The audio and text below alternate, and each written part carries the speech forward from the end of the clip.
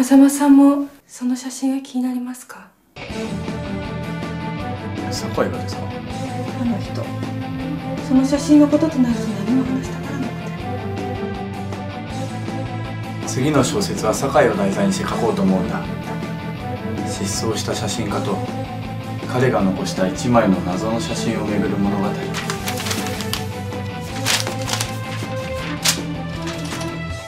もしかしたら1年前酒井はまずこの写真の場所へ向かったのかもしれません。あ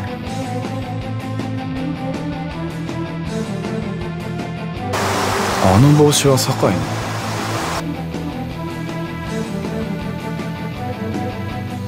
多分圭一はもう戻ってこないと思います。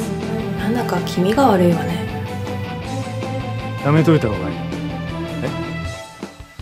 おい待ってくれ